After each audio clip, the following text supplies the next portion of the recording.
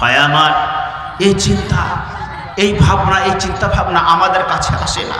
কবরের ধারণা আমাদের কাছে মোটেই নাই, যার জন্য আমরা যা ইচ্ছা তাই করতে পারি। যে কোনো সময় আমাদেরকে কবর ভুলিয়ে দেয়, যে কোনো কাজ আমাদেরকে কবরকে ভুলিয়ে দেয়, যে কোনো সম্পদ আমাকে কবরের কথা ভুলিয়ে দেয়, যার জন্য আমরা সব সময় হাসতে পারি, ঠাট্টা করতে পারি। একটা লাশের সামনে দাঁড়িয়ে আমরা পাগলের মতো হাসতে পারি, একটা লাশকে সামনে রেখে আমরা গল্প করতে পারি, একটা লাশকে সামনে রেখে আমরা এক অপরকে চিমটি কেটে ঠাট্টে আর কি করতে পারি। ভয় আমার বাপজি আমার, আফসুস আমাদের, আমরা কবরের চিন্তা করি না। আল্লাহ পাকসাদ বলেছেন, তুমি কবরের চিন্তা যদি তোমার ভিতরে না থাকে, তাহলে তুমি এক পাগল। কবরের চিন্তা যদি তোমার ভিতরে না থাকে, তুমি এক পাগল, মুসলমান পাগল। এরা কেমন পাগল জানেন? মুসলমান কেমন পাগল জানেন? আল্লাহ আকবার। মুসলমান কেমন পাগল? মুসলমানদের পাগলামো হতেই পারে না। রাসুল সাল্লাম তিনি বলছেন, মুসলমান কখনোই পাগলামো করতে পারে না। মুসলমান তো তাকেই বলা হয় যে তার জীবনের সমস্ত অঙ্গ প্রত্যঙ্গ, সমস্ত কিছু আল্লাহর দান সদা সর্বদাই সে আল্লাহর সুক্রিয়া করবে, আল্লাহর গুণগান করবে। সে যখন ঘুম থেকে উঠবে তখন দোয়া পাঠ করে ঘুম থেকে উঠবে বলুন সুবহান আল্লাহ ভাই আমার, যতগুলো মানুষ আমরা বসে আছি, যদি একবার জিজ্ঞেস করে ঘুম থেকে জাগার দোয়া কোনটা গো? তাহলে কি উত্তর আসবে? যে! এটাই সহি দোয়া নাকি বলছেন? যে? সহি দোয়া এটাই হবে নাকি? ঘুম থেকে জাগার সময় এই দোয়াটাই পড়ি তো আমরা। বড় হা করে আ করে একটা টালিশটা ছেড়ে দিলাম, এটাই মনে হয় দোয়া। আফসুস লাগে মুসলিম, এরা মনে হয় নব্বই পার্সেন্ট লোক ঘুম থেকে জাগার দোয়া জানে না। কীভাবে শিখাবো এদেরকে? কি কি চেষ্টা করেছে আপনাদের শেখানোর জন্য? আফসোস লাগে ভাই আমরা পাবলিককে শিখাবো, মানুষকে দিনের দিকে ধাবিত করাবো, মানুষকে দিনের শিক্ষা দেবো সেই চিন্তা ভাবনা তো আমাদের মাঝখানে নাই। আমরা দলাদলি নিয়েই তো মেতে আছি। কি করে আমার চেয়ারটা বাঁচাবো? একটা চেয়ার যদি আমার থাকে আর বিশটা চামচা আমার আছে। আমি যদি চেয়ারটাকে ছাড়তে চাই চামচা কলা ছাড়তে চাই, ছাড়াতে চাই না। যার জন্য মানুষের মধ্যে দলাদলি, ভাগাভাগি হতে হতে এমন পর্যায়ে পৌঁছে গেছে, কিয়ামত টক টক করছে সামনে। কিয়ামত সামনে টক টক করছে। শ্রোতা মণ্ডলী, ঘুম থেকে যখন আপনি উঠবেন, আপনাকে দোয়া পাঠ করতে হবে। আলহামদুলিল্লাহ আহিয়ানা বাদামা আমাতানা ওয়াইলাইহিন নুসুর। এই দোয়া আপনাকে পাঠ করতে হবে। এই দোয়া পাঠ করার পর সর্বপ্রথম আপনার কাজ হবে অজু করে নামাজ পড়তে যাওয়া। ভাই আমার আফসোস আমাদের মসজিদ আমরা তৈরি করেছি। এত বড় বড় মসজিদ আমাদের। দুতলা, তিনতলা, চারতলা করে মসজিদ। আর পিরিয়ড লাগিয়ে এত ঝকঝকে চকচকে মসজিদ করেছে, বুঝতে পেরেছেন? আর নতুন করে চিরুনি পকড়ে থাকলে হবে, আয়না লাগবে না। মসজিদে ঢুকবেন তো মুখ দেখা যাবে। যে? কিন্তু আফসোস, ভাড়াটি ইমাম যদি না থাকে, তাহলে মসজিদে আজান হয় না। মুসলমান, কোথায় আছি আমরা? বিশ্বনবী মুহাম্মদ রাসূলুল্লাহ সাল্লাল্লাহু আলাইহি ওয়াসাল্লাম তিনি বললেন হে বিশ্ববাসী তোমরা শোনো ঘুম থেকে তুমি কি করে করবে? একটি হাদিস আপনার সামনে যদি বর্ণনা করে আপনি বুঝতে পারবেন। সরি জায়গা হচ্ছে না দেখে আগে আসি বসতে বলে আমি জায়গা হচ্ছে না ওগুলো গুছিয়ে আমি এসে বসে বলছি মেয়ে হয়েছে ভাই মেয়েরা আমার কথা শুনবে? ছিল যে? মেয়েরা আমার কথা শুনবে, মেয়েদের জায়গা হচ্ছে না, আমাকে বলছে এগিয়ে আসতে বলেন। আল্লাহ একবার আমার বাড়িতে একটা মেয়ে ছিল, তাই তো আমার কথা শোনে না। এত টাকা মেয়ে মেয়ে আমার কথা শুনবে? মা আমার, বোন আমার, আপনারা মায়ের জাত। মা এমন একটা জিনিস, মায়ের কাছে সব ছেলেগুলার জায়গা হয়ে যায়। একটা মা পাঁচটা ছেলের সুন্দর ব্যবস্থা করে দেয়, করে না? পাঁচটা ছেলে। একটা ছেলে কলেজে যাবে, একটা ছেলে হাই স্কুলে যাবে, একটা প্রাইমারিতে যাবে, একটা নার্সারিতে যাবে। কোন ছেলেটা কি খাবার পছন্দ করে, কোন ছেলেটাকে কোন সময় সাজিয়ে দিতে হবে, কোন সময় কোন ছেলেটাকে বাড়ি থেকে বাহির করতে হবে, পাঁচটা ছেলে একটা মা সুন্দর করে সামলিয়ে দেয়, পাঁচটা ছেলে একটা মা সুন্দর ব্যবস্থা করে দেয়, পাঁচটা ছেলে একটা মা সুন্দর করে খাইয়ে দেয়। কিন্তু ভাই, আমার বাপ যে আমার, পাঁচটা ছেলের একটা মা যখন বুড়ো হয় পাঁচজন আর একটা মা আর তারা সামলাতে পারে না। যে? আফসোসের কথা। একটা মা পাঁচটা ছেলেকে সুন্দরভাবে সামলায়, কারোর কোনো অভাব হতে দেয় না। আর পাঁচটা ছেলে একটা মাকে আর সামলাতে পারে না, কেন জানেন? এদের কাছে বারো ঘণ্টার পীর সাহেব আসে কানে কানে ফুসফুস ফুস করে মন্ত্র দেয়, এমন মন্ত্র দিয়ে দেয়, বুঝতে পেরেছেন? আল্লাহ আকবার। তখন তাকে আর মানুষ থাকতে দেয় না। তো মা আমার, বোন আমার, আপনার অত্যন্ত গুণবতী, মায়ের থেকে ভালো জিনিস পৃথিবীতে আর কিছু আছে? পৃথিবীতে মা যদি না থাকতো, পৃথিবীতে মা যদি না থাকতো, আমি জহির আমার জন্ম হতো না। এতগুলো কথা আপনাকে বলতে পারতাম না। পারতাম ভাই হতো না। তো মা আমার, বোন আমার, আপনারা মায়ের জাত মেয়েদের জাগা হচ্ছে না। যদি সম্ভব হয়, একটু একটু সামনে করে চেপে বসেন। একটু আগিয়ে বসেন জানে পিছনের মা বোনরা একটু বসতে সুযোগ পায়। এটা আপনাদের কাছে অনুরোধ করছি। ভাই আমার, আল্লাহ পাকদের রাসুল বলছেন, তুমি কি করবে? রাসুলের পায়রাবি করবে। কেমন করে করবে রাসুলের পায়রাবি? আল্লাহ আকবার। আল্লাহ পাকসাদ বলছেন, জান্নাতে যাওয়ার জন্য যা কিছু দরকার তোমাকে, পবিত্র কোরআন থেকে করতে হবে। জান্নাত যদি আপনি যেতে চান, তাহলে কি করতে হবে? জান্নাত যেতে গেলে আপনাকে জান্নাতে আমল করতে হবে। ভাই আমার, আল্লাহ পাকসাদের রাসূল বলছেন, হে বান্দা, তোমরা শোনো, জান্নাত যদি যেতে চাও, জান্নাতের কর্ম তোমাকে করতে হবে। জান্নাত যদি যেতে চাও, জান্নাত দুনিয়াতে কিনতে হবে। আল্লাহ পাকসাদ পবিত্র কোরআনুল কারিমের মধ্যে ঘোষণা করে বলেছেন, আমি আল্লাহ জান্নাত বিক্রি করে, আমার জান্নাতের দোকান আছে, আর পৃথিবীতে যতগুলো মানুষ, এরা খরিদ্দার, যদি ইচ্ছা করে জান্নাত কিনতে পারে, বলুন সুবহানাল্লাহ। জান্নাতের দোকান দেখেছেন? জান্নাতের দোকান ফুলবাগান মোড়ে নাই? যে সব মালের দোকান আছে, আর জান্নাতের দোকান নাই। সুহান আল্লাহ সুহান আল্লাহ বিশ্ব নবীর একটা হাদিস মনে পড়ে গেল। নবী মোহাম্মদুর রাসুল্লাহ বলুন সাল্লাহ আলাইসাল্লাম তিনি একটা বিশুদ্ধ হাদিস আপনার সামনে বায়ন করতে চাইছি। কিন্তু তার আগে একটা কথা আপনাদের বলে নিই।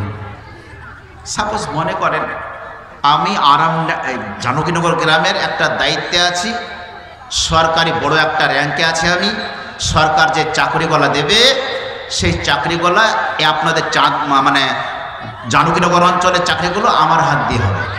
তো যদি আমার হাত দিয়ে এই চাকরিগলা হয়, ভাই, আমার ছেলেকে আমি আগে দেবো না আপনাকে আগে দেবো? কোনটা গো? আমার ছেলেকে আমি আগে দেবো না আপনারটা আগে দেবো? যে বুঝতে পারলেন না কথাটা?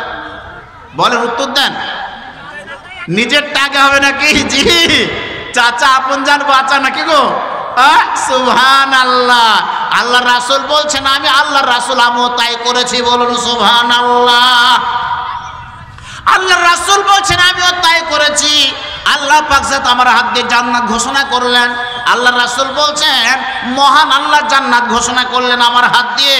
আর আমি রাসুল্লাহ আমার ছেলেটাকে আগে জান্নাতি করে দিয়েছি। আমার ছেলেটাকে আগে জান্নাতি বানিয়েছি। বলুন সুহান আল্লাহ বিশ্বনবীর কোন ছেলেটা গো? জানা আছে আপনাদের? বিশ্বনবীর কোন ছেলেকে আল্লাহ রাসুল জান্নাতে পাঠিয়েছিলেন, কোনটা? জানা নাই? আল্লাহ একবার এটা কি করে জানা থাকবে আমাদের? আমরা যে খাঁটি মুসলমান নাকি বলছেন? হ্যাঁ? সুবহান আল্লাহ রাসুল সাল্লাম তিনি সাহাবিদের মাঝখানে বসে আছেন মসজিদের নবাবিতে বসে সমস্ত সাহাবিদেরকে ডেকে বললেন, রে আমার সাহাবিরা, তোমরা শোনো, মহান আল্লাহ জান্নাত বিক্রি করেছেন তোমাদের জন্য, আর আল্লাহ তোমাদের জান তোমাদের মাল কিনে নিয়েছে জান্নাত দিয়ে। এসো তোমরা ওই জান্নাতে যেতে চাও, যারা আমার কাছে জমা হয়ে যাও। মহান আল্লাহ বলেছেন, বিসমিল্লাহির রহমানির রহিম। ইন্নাল্লাহ হাস্তারা মিনাল মুমিনিনা। জান্নাহ মহান আল্লাহ বলছেন, আমি আল্লাহ ও তোমার মাল আর তোমার জান জান্নাতের বদৌলতে কিনে নিয়েছে। আমি যখন বলব মুমিন, জান্নাত যেতে চাও মালগুলোকে আমার কাছে জমা করে দাও। আমি বলব মুমিন, জান্নাত যেতে তা চাও, তোমার জান আল্লাহর রাস্তায় দিয়ে দাও। সঙ্গে সঙ্গে তোমাকে হাজির করে দিতে হবে। বিশ্বনবী আবার বললেন রে আমার সাহাবিরা, তোমরা শোনো, আজকের যুদ্ধ সংগঠিত হবে মোতা প্রাঙ্গণে। মোতার মাঠে যুদ্ধ সংগঠিত হবে। আজকের যুদ্ধ নয় জান্নাতে যাওয়ার একটা ঘোষণা করলেন, যারা জান্নাতে যাবে, আমার কাছে জমা হয়ে যাও। বিশ্বনবীর সাহাবিগণ মসজিদ নবাবিতে জমা হয়ে গিয়েছেন। এবার সর্বপ্রথম জান্নাতে কে যাবে? নবীজি লক্ষ্য করে দেখতে দেখতে বললেন, সর্বপ্রথম জান্নাতে যাবে আমার আকাশ দিয়ে মহান আল্লাহ আমার দ্বারাই ঘোষণা করেছেন, আর সর্বপ্রথম জান্নাতে আমার ছেলে যাবে। বলুন সুবহান আল্লাহ বিশ্বনবীর ছেলে কোনটা? নবীদের ছেলের নাম কি ছিল? হজরত জায়েদ রাজি আল্লাহ আনহু বলুন সুহান আল্লাহ জায়েদ, ঠিক বললাম নামটা? না! জায়েদ বিন হারেস বিশ্বনবীর পালিত পুত্র। জি। জায়েদ বিন হারেস বিশ্বনবীর পালিত পুত্র। কোথায় পেলেন ছেলেটাকে?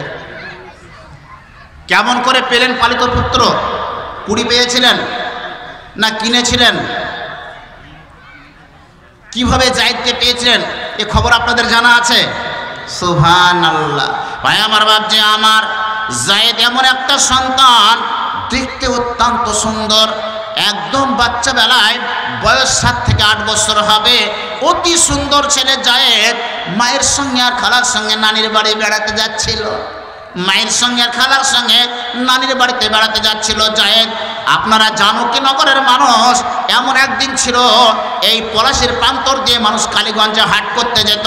আর কালীগঞ্জে হাট করতে গিয়ে হাটে পণ্য বিক্রি করে যখন বাড়ি ফিরে আসতো, তখন কারোর পণ্যের মালটা বাড়িতে পৌঁছাতো, কারোর পৌঁছাতো না। কারোর টাকা রাস্তাতে ছিনতাই হয়ে যেত, আর কারোর যান পর্যন্ত চলে যেত। কি গো? যেত না? আল্লাহ একবার আমি বর্ধমান গিয়েছি, একটা মুরব্বী মানুষ বলছে, বাড়ি কোথায়? বললাম, বাড়ি পলাশি। তো পলাশি কোথায়? তো নদিয়া পলাশি। তো মুরব্বী তখন বলছে বিষমকুল বেড়ির মাঠে দাঁড়িয়েছিল খেটনি হাতে।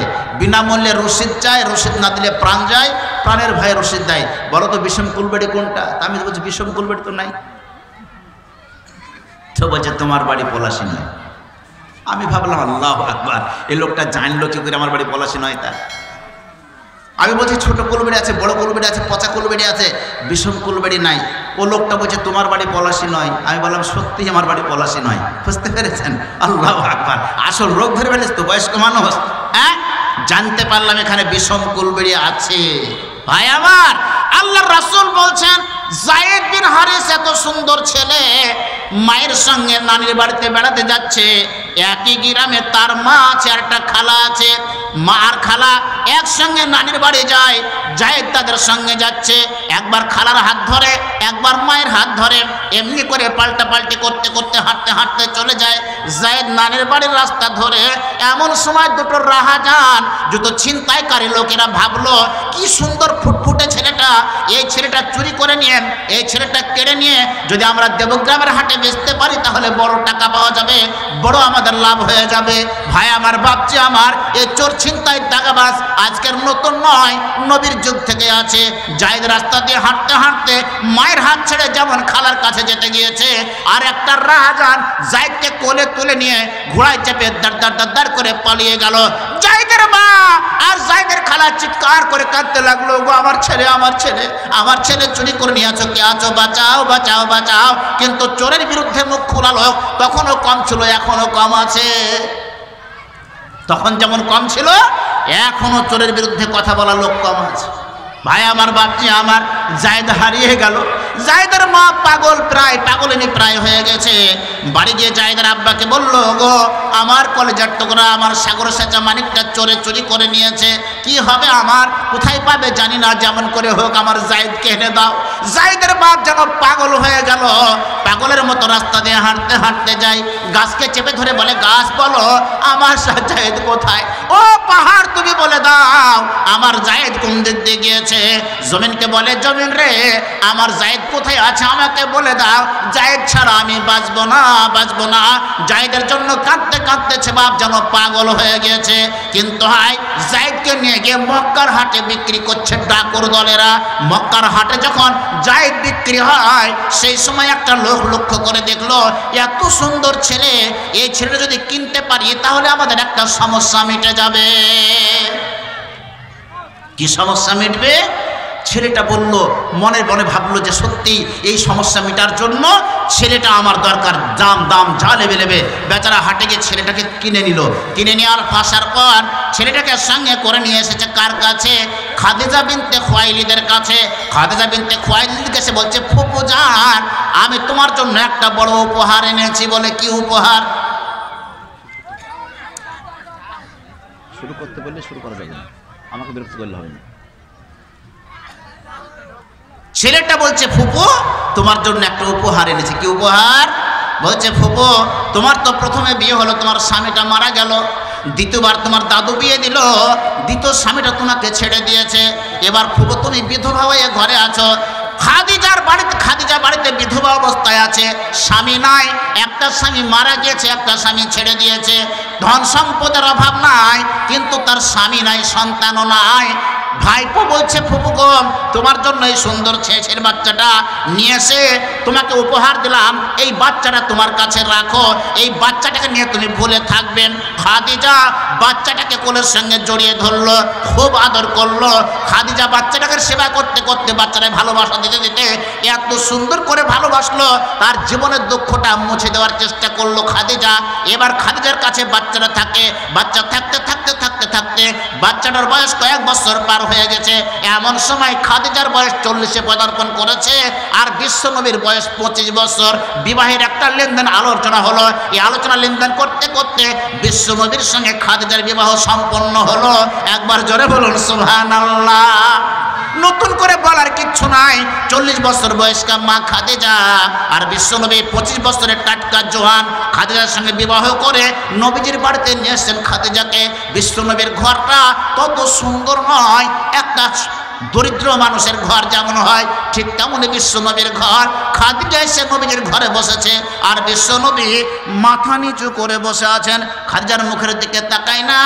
খাদিজা দেখার চেষ্টা করে বিশ্বনবীকে, কিন্তু নবীজি মুখ তুলে খাদিজার মুখের দিকে তাকায় না, বলুন সুবহানাল্লাহ। খাদিজা বলল, মোহাম্মদ, ও মোহাম্মদ, কেন তুমি আমার দিকে তাকাচ্ছ না? ও মোহাম্মদ, কেন তুমি আমার দিকে চাও না? আমি বুঝতে পেরেছি। মোহাম্মদ বলছেন, খাদিজা রে, জানি না তুমি কি অনুভব করছ, আমি বলতে পারব না। খাদিজা বলছে, মোহাম্মদ, তুমি পঁচিশ বছরের টাটকা নজওয়ান যুবক আর আমি চল্লিশ বছর বয়সটা খাদিজা, আমাকে বিবাহ করাতে তোমার নিশ্চয় দ্বিমত ছিল। যার জন্য আমার দিকে তুমি মুখ তুলে তাকাচ্ছ না। বিশ্ব নবী বললেন, খাদিজা, ও খাদিজা, তুমি শোনো, আমি কেন তোমার দিকে তাকাতে পারছি না? আমি মোহাম্মদ, আমি তোমাকে চল্লিশ বছর বয়সকার জেনে শুনে বিবাহ করেছি। আমি অবশ নয় কারও চাপে পড়ে তোমার সঙ্গে আমার বিবাহ হয়নি। আমার মতের উপরে নির্ভর করে তোমার সঙ্গে আমার বিবাহ হয়েছে। কিন্তু আমার বেদনা কোথায়? এই বেদনার কথা তুমি এখনও বুঝতে পারছি না।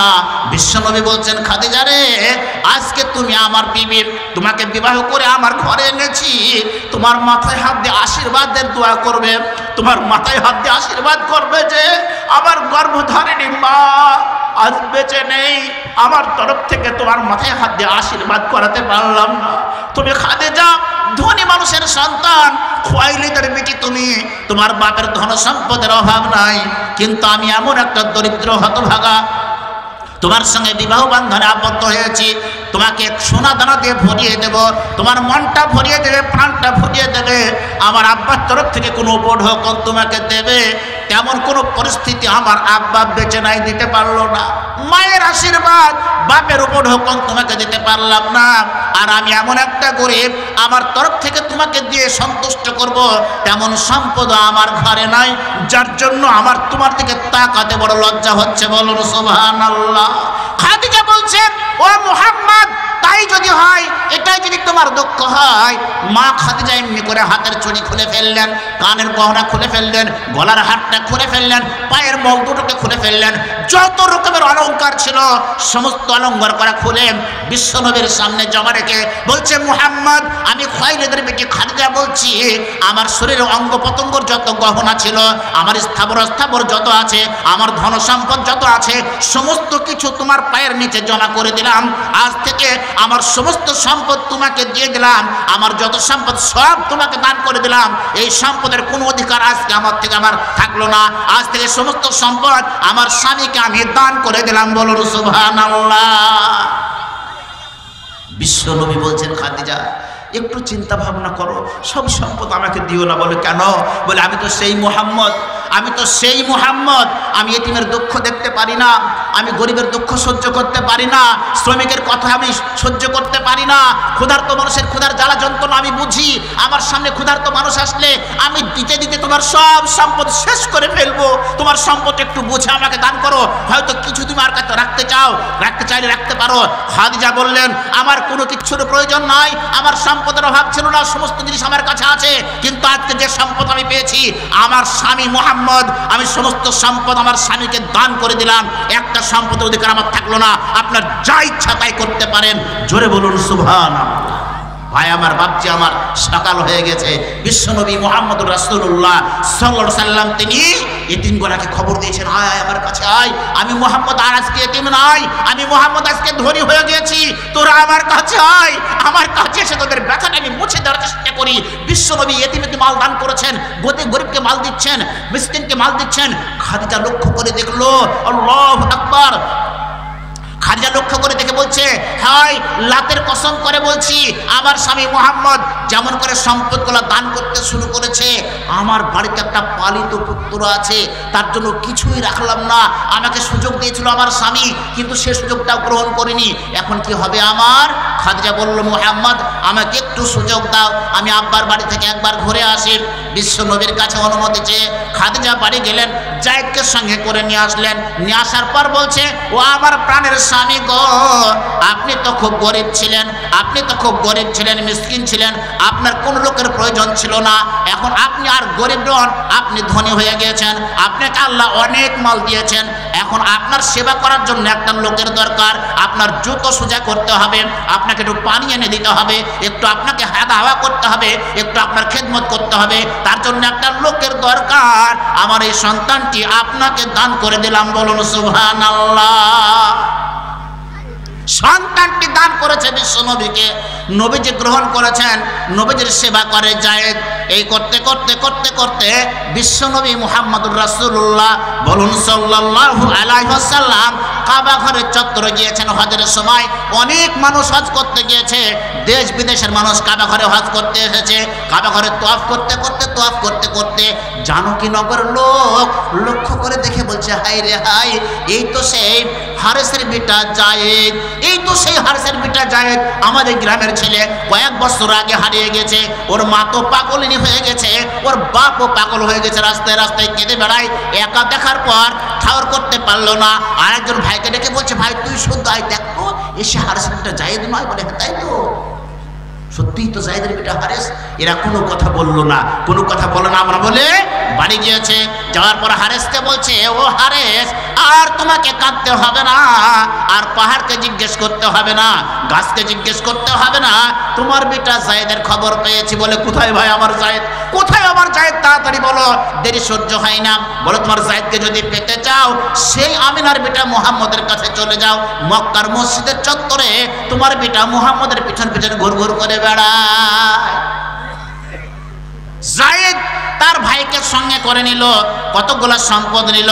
সম্পদ নিয়ে হাঁটতে হাঁটতে হাঁটতে হাঁটতে চলে গিয়েছে মক্কাতে। বিশ্বনবী বসে আছেন কাবা চত্বরে। জায়েদ তার পাশে বসা।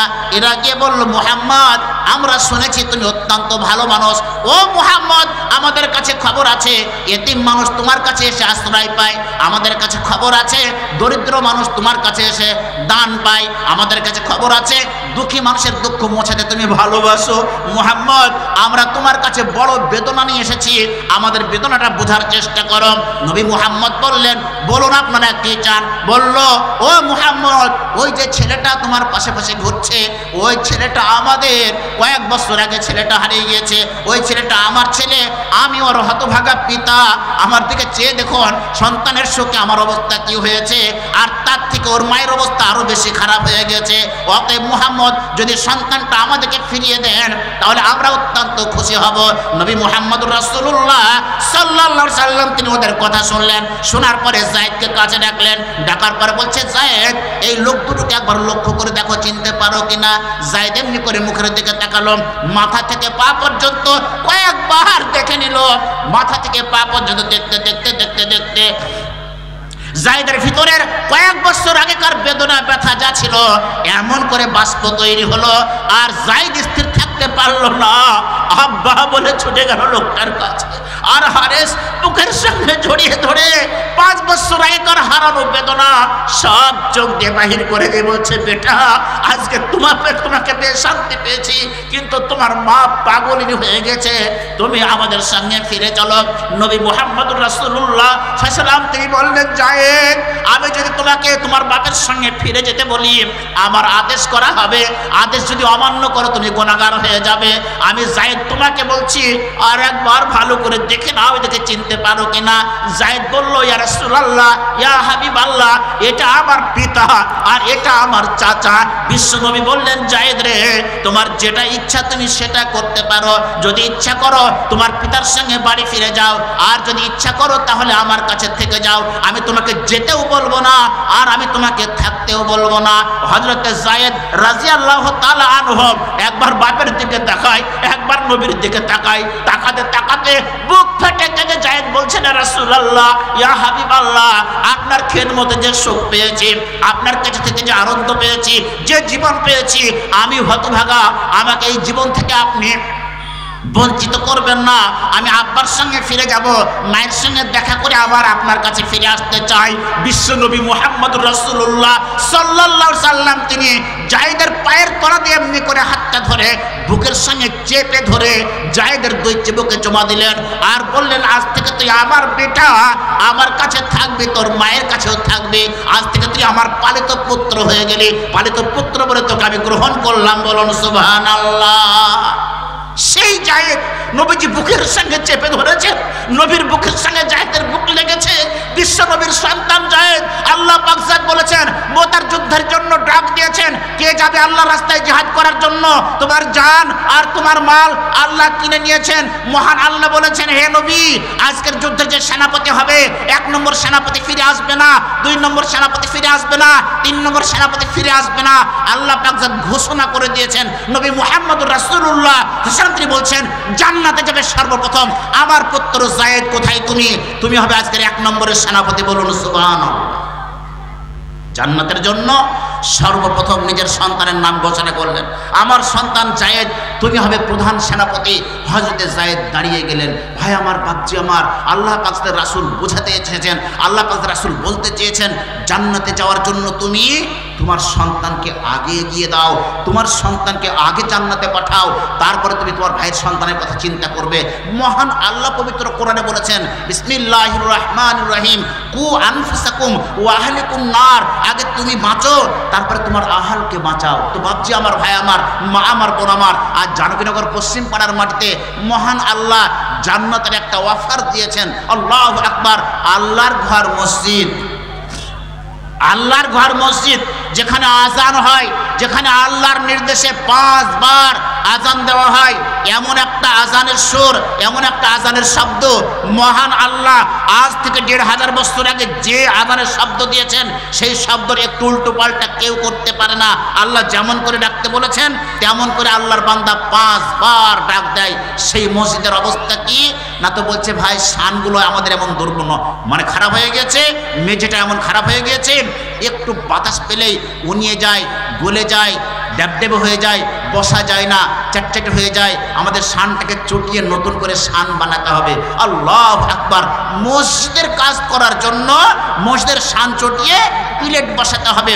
আল্লাহ একবার সেই মসজিদের জন্য আল্লাহ পাক রাসুল বলেছেন, ওয়ান উসমান রাজা আল্লাহ তালান পালা রসুল্লাহ সাল্লাহ আলাইসাল্লাম বিশ্বনবী বলেছেন হজরত উসমান হাদিসটা রাবে, মান বান আলিল্লাহ মসজিদান, বান আল্লাহ লাহু বাইতান ফিল জান্নাত।